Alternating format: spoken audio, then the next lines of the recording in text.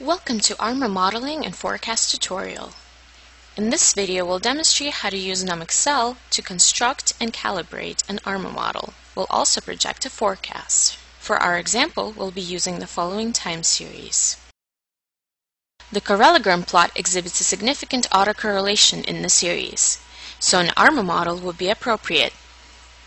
The partial autocorrelation plot shows a significant correlation at lag order 1, so the autoregressive component order is assumed to be 1. The autocorrelation function plot has a significant correlation at lag order 1 and exhibits a cyclical pattern. Let's assume the moving average component order is 1 for this example. Select the cell at D37 and click on the ARMA icon in the NumXL toolbar. The ARMA modeling dialog pops up. For input data, select the cell range in column B.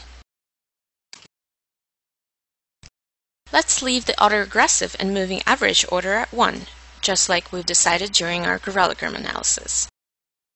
For the ARMA output option, let's leave the guess parameters, goodness of fit, and residual diagnosis options checked, which is done by default.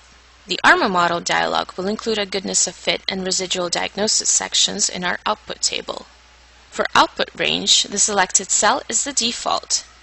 Click OK. The ARMA model table is displayed in your worksheet. On the left, you can see the model parameters. In the center is the goodness of fit, and on the right is the residuals diagnosis. Please note the model's coefficients values are not optimal, but rather initialized with a quick guess.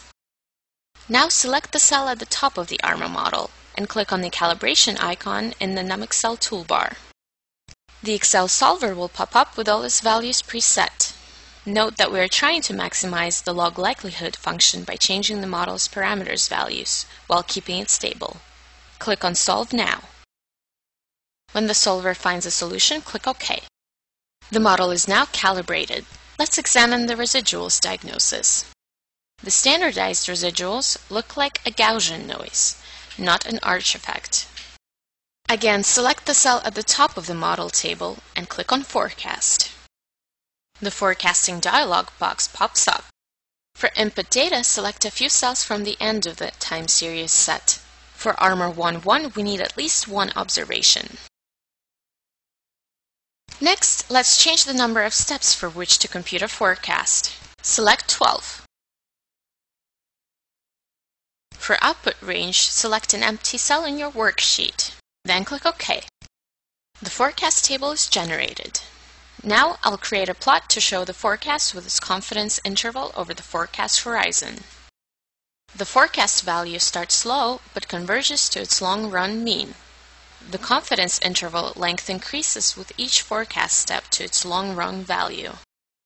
That is it for now. Thank you for watching.